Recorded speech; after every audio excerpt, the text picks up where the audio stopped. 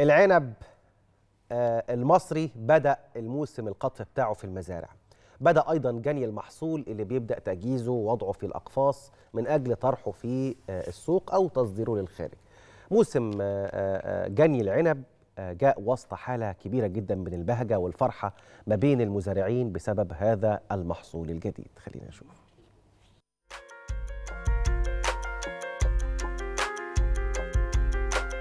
الظروف السنة دي فعلا يعني بالنسبة للعنب والأصناف اللي هي الحلويات كانت مبشر فعلا للإنتاج السنة دي.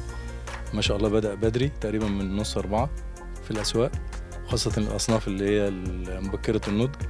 من ناحية الجودة ما شاء الله ال- أنا لسه بعمل عملية تذوق دلوقتي في البتاع نسبة السكر بالنسبة لل للاستخدام اللي هو التسويق بتاعنا. ما شاء الله تقريبا نسبة السكر تعدي ال 22 القطر نفسه آه، تقريبا هو المرغوب بالنسبة للأسواق المحلية. آه، العنقود طبعا بالمواصفات بتاعتنا ما شاء الله يعني زي الفل.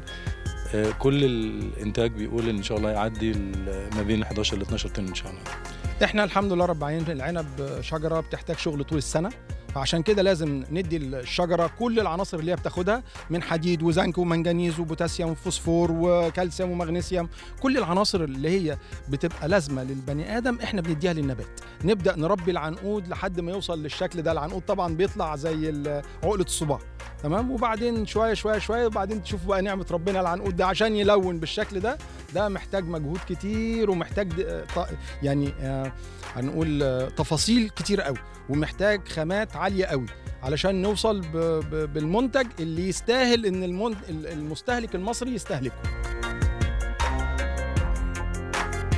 إحنا طبعا مديرية الزراعة بالشرقيه بتقدم آه، عملية إرشادية للمزارعين. عندنا قسم ال- البساتين آه، بيتابع مع مع المزارعين آه، لحظة بلحظة. أي أمراض أي عملية إرشادية بتتم من خلال المديرية أي مساعدة أي مكافحة. آه، بتتم من خلال المد- المديرية وفي مرور شبه يومي مع ومتابعة مع كل لأن إحنا حاصرين المساحات دي على مستوى الشرقية كلها. بقول لحضرتك 36000 آه، 3650 آه، آه، فدان. حاصرينهم كلهم ومتابعينهم ومعظم المزارع مكودة وعلى تواصل يومي مع قسم البساتين عندنا والمتابعة.